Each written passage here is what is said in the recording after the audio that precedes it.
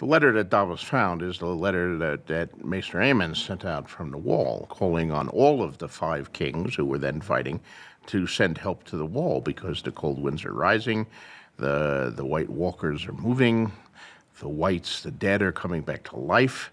Um, it's a pretty serious situation, and uh, Stannis, indeed, when it comes in, it gets buried in a bunch of his other mail and doesn't get attended. But Davos, in the process of learning to read, comes across this thing, and Stannis has realized that he's going about this all wrong. That he's been trying to become king to save the realm, when he should have been saving the realm to become king. And the last thing that Mance Rayder accept, expects is a is a large force of mounted knights uh, suddenly erupting from the woods onto his uh, flanks as he's uh, battering at the wall. He thinks all of the enemy is right in front of him. He doesn't think there's any foe left north of the wall, but Stannis has come north of the wall. And when, you know, Stannis' force of, uh, of disciplined mounted knights takes them unaware and suddenly is rolling through their camps, the army shatters.